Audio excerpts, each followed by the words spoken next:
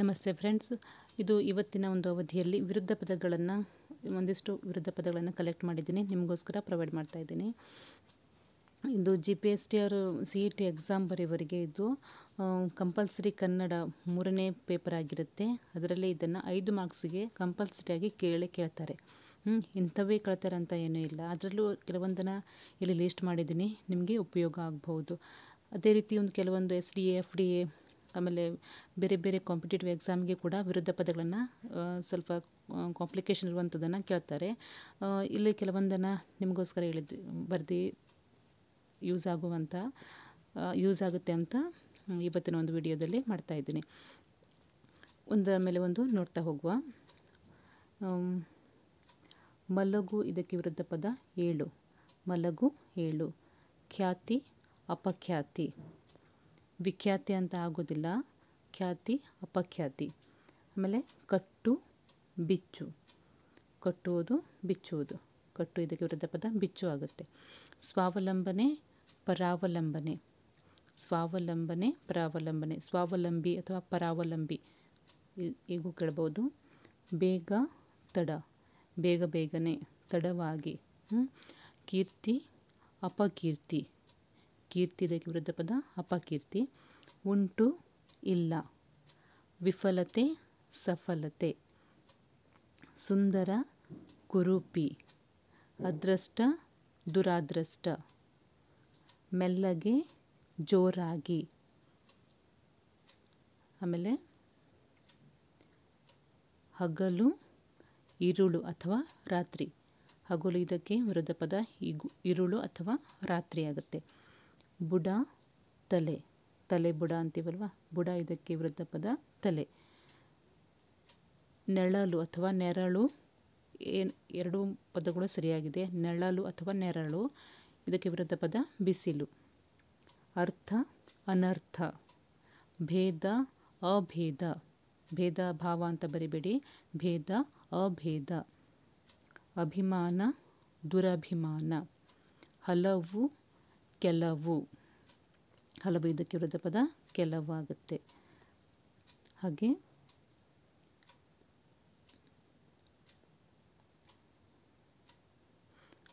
ಸರಿ, ಸಂತೋಷ, ದುಃಖ. ದುಷ್ಟ, ಶಿಷ್ಯ. ದುಷ್ಟ, ಶಿಷ್ಟ. ಮಾನ, ಅಪಮಾನ. ಅವಮಾನ ಆಗೋದಿಲ್ಲ ಮಾನ, ಅಪಮಾನ. ಕೃತಜ್ಞತೆ ಕೃತಜ್ಞತೆ.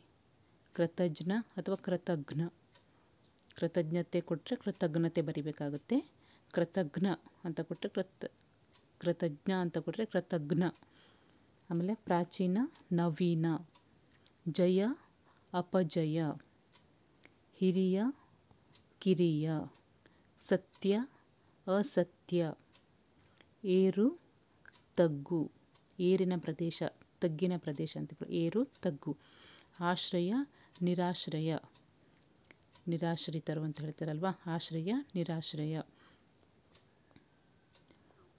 ಆಮೇಲೆ ಪಾಸು ನಪಾಸು ಆಸು ಪಾಸು ಆಗೋದಿಲ್ಲ. ಪಾಸು ನಪಾಸು ಧರ್ಮ, ಅಧರ್ಮ. ದೂರ, ಹತ್ತಿರ. ಕತ್ತಲು, ಬೆಳಕು. ಆಮೇಲೆ ಹಳ್ಳಿ ಪಟ್ಟಣ. ಮೌಲ್ಯ, ಅಪಮೌಲ್ಯ. ಮೃದು ಗಟ್ಟಿ. ವರ, ಶಾಪ. ಸಾಧ್ಯ, ಅಸಾಧ್ಯ. ಪವಿತ್ರ, ಅಪವಿತ್ರ. ಸಣ್ಣದು, ದೊಡ್ಡದು.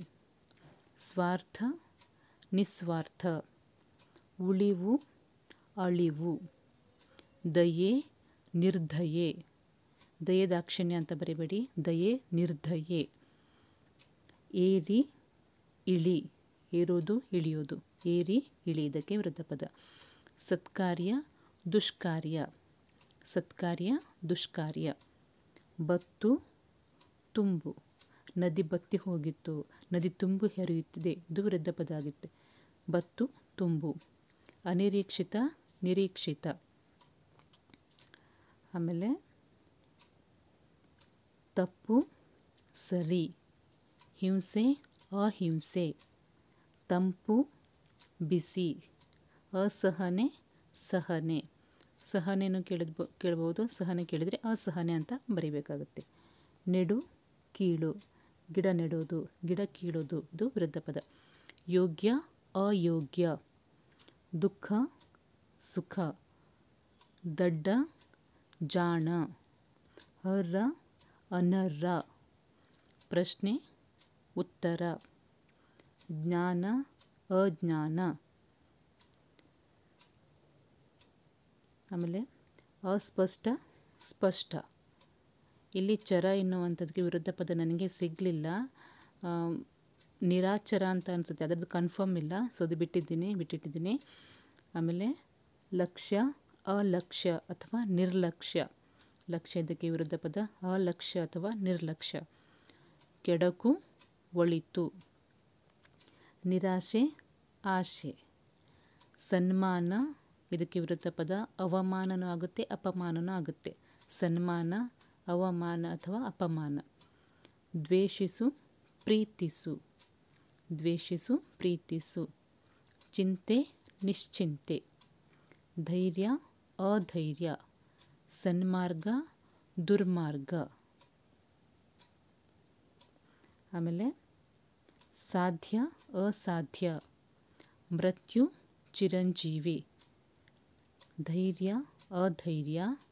ಭೇದ, ಅಭೇದ. ವಿದೇಶಿ, ಸ್ವದೇಶಿ. ಚೇತನ, ಅಚೇತನ. ವಿದ್ಯಾವಂತ, ಅವಿದ್ಯಾವಂತ. ಜನ ನಿರ್ಜನ. ಜನನಿಬಿಡವಾದಂಥ ಪ್ರದೇಶ, ನಿರ್ಜನವಾದಂಥ ಪ್ರದೇಶ. ಇದು ಜನ ಇದಕ್ಕೆ ನಿರ್ಜನ ವಿರುದ್ಧ ಪದ ಆಗುತ್ತೆ.